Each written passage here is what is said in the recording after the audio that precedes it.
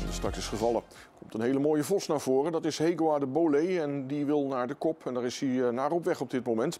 Daarachter op plek 2 aan de relingzijde ligt Floris van Egmond. Iden de Chirka wordt teruggenomen naar de derde plaats. En ook een goede start voor de nummer 7, Graal de Busset. Die ligt vierde.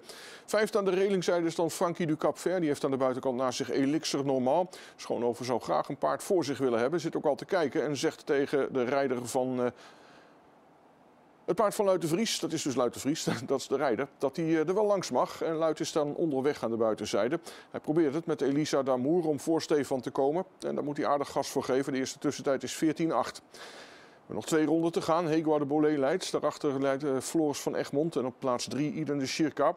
Nu komt op plek 4 het nummer 4 van Elisa Damour. En daarachter aan de relingzijde ligt Graal de Busset.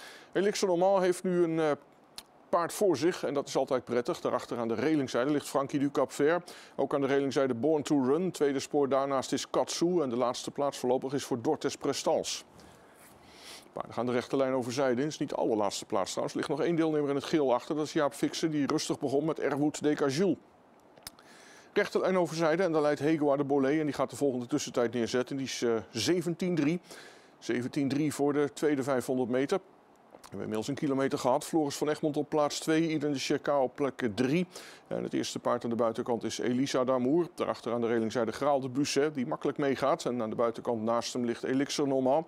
Ook in het tweede spoor onderweg Katsu. Aan de relingzijde Frankie du Cap Ver. Ook aan de reling Born to Run. Daarnaast in het tweede spoor Dortes Prestance. En daarachter ook in het tweede spoor, maar wel laatste paard voorlopig.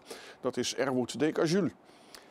Paarden weer in de rechte lijn voor de tribune. Krebas uh, krijgt geen aanvallen, kan het tempo zelf bepalen. En dat doet hij op een uh, hele rustige manier. Hij rijdt een uh, vlakke 17 ongeveer. Eens kijken of hij dat nu weer doet. 19-2, ietsje langzamer zelfs. En zo gaan we de laatste kilometer in. Dan moet er nog genoeg in de tank zitten. Hego de Boulet leidt. Daarachter op plek 2 de medefavoriet. En dat is Floris van Egmond. Buitenkant Elisa Damour die steeds dichterbij komt. Graal de Busset aan de binnenkant ligt achter Iden Shirka. Die wacht nog op een gaatje, maar dat gaatje is er nog niet. Want naast hem ligt Elixir normaal. Katsu gaat nu wel naar het derde spoor. Katsu gaat zometeen als eerste de aanval plaatsen. Dat weet nog niemand, alleen Christophe de Puit. Maar Christophe gaat toch weer terug naar binnen. En dan gaat voor hem uit Elixir Normaal. Elixir Normaal gaat als eerste. En zo zijn ze halverwege de rechte lijn zijde. Krebas heeft het inmiddels gezien en gaat nu vragen om een versnelling. Zo gaan ze de laatste 500 meter in. 13-9 was de tussentijd. En het is Hegoa de Bolé die leidt. Hegoa de Bolé, daarachter Floris van Egmond. Aan de buitenkant Elixir.